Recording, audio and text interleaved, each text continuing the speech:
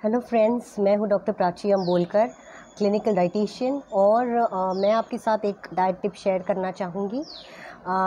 सबको जिनको भी वज़न कम करना होता है आ, उनको ये ख्याल आता है कि कितना वज़न कम करना चाहिए। आइडियली कितना वज़न कम करना ज़रूरी है।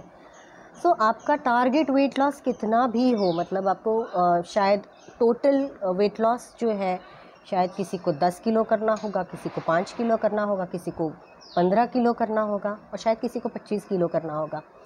लेकिन आप क्या कर सकते हैं, अगर आपको हेल्दी तरीके से वेट लॉस करना है तो आपको जो है हाफ़ के जी पर वीक या मिनिमम आपका वेट लॉस होना चाहिए और मैक्सिमम वन के जी पर वीक इतना वज़न आपका एक हफ़्ते में कम होना चाहिए जो कि एक healthy way of weight loss है।